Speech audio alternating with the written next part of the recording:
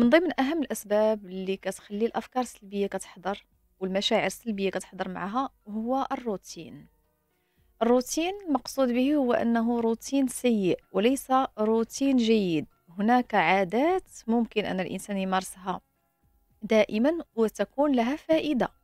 مثلًا لو كان ممارسة ديال الرياضة منتظمة، رياضة ولو رياضة المشي، تأمل مثلًا، تنفس عميق، هذه من الأمور اللي نقدروا نسميوها روتينية أو لا عادات هي ممارسة فيها لكنها مفيدة.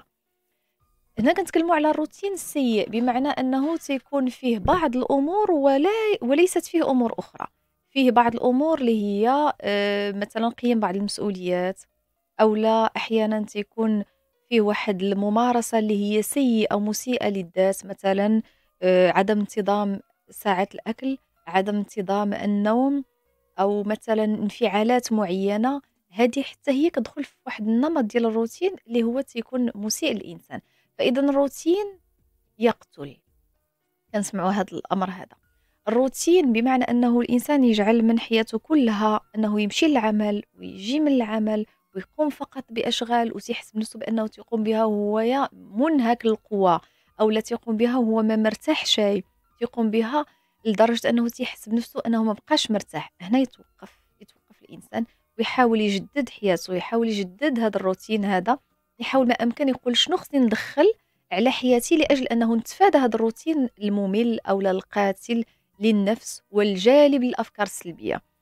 الروتين بمعنى أنه تبقى إنسان تيمارس شيء ويعيده كما هو في نفس اليوم في, في الأيام كلها كما هو في نفس اليوم. هذا بطبيعة الحال ما صححش الإنسان هذا الأمر هذا فإنه يضر به وتجلب ليه أفكار سلبية. تجلب له أفكار سلبية على ذاته على الآخر على حتى ديك الممارسة اللي تيمارسها مثلا ناس اللي آه، كيف ما قلنا عندهم عمل مسؤولية البيت مسؤولية الأسرة عمل مسؤولية البيت مسؤولية الأسرة بدون أمور اللي هي فيها ترفيهية مثلا نفسه بدون واحد الخلق من ديال التواصل مع ذاته مع الآخر. جيد بدون واحد نوع من الإدخال الفرحة وسعاده إلى القلب ديالو والقلب الآخرين فهنايا لا شك أنه تيحس بنفسه أنه سينهار يوما بعد يوم أو لا غيوصل لدرجة الملل حتى غيولي كيستحضر أفكار اللي هي ليست من الحقيقة. تيولي يحس بنفسه بأنه عاجز تيحس بنفسه بأنه الحياة مملة تيحس بنفسه بأنه آه، آه، ما كاينش فائدة من الحياة.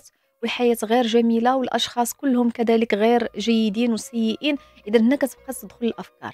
قد ما بدلنا الروتين الحياة قد ما بدلنا نمط الحياة قد ما كيكون الأمور تكون أفيد وأحسن وأريح لنا